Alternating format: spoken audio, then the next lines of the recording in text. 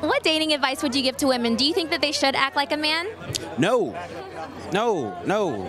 Act like a man. Definitely don't do that. No, that's how you guarantee you will be single for a very long time. Unless you run into a man that digs that kind of thing, and in which case you probably don't want him anyway because he really don't want you. Um, no, I say act like yourself, be who the hell you are, but just understand that um, there are certain aspects of strength that are necessary when dealing with men, especially uh, modern men. You know, so just don't be, don't wear your heart on your sleeve the way that most women tend to. Don't do that because you, you never want to show all your cards. It's a poker game. You know, you want to keep your poker ca- keep your poker face. Make sure that your cards are not shown, and uh, should that person prove themselves worthy, that's when you show your cards. And I just saw your film the other day. What was it like um, filming that? And where did you guys shoot it? We shot that in Prague. We were out there for about four months.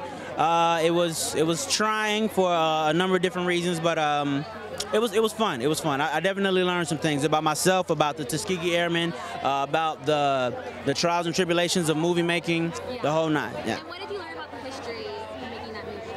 Um, well, I, I, knew that the Tuskegee Airmen were incredible. I knew that they had done amazing things. I didn't know how incredible they were. I didn't know that the youngest pilot was 17 years old, you know, doing something that incredible and that important at 17. I can't tell you what I was doing at 17. It definitely wasn't saving the world. Um, I learned that, you know, uh, racism is a real thing, and, and you know, despite despite any and all, what's the words I'm looking for?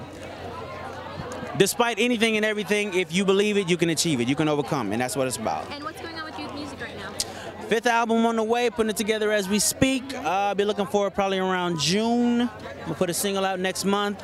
Uh, this lovely lady standing next to me, this is Ravon, uh, putting her stuff together right now. She just recently signed over at Columbia Records, Compound University slash Columbia Records. So uh, yeah, man. Uh, it's R&B. Well, you know what? R&B. Old school Mary J. Kind of paying homage to her. Definitely R&B though. Yeah. Thank you. Meeting you.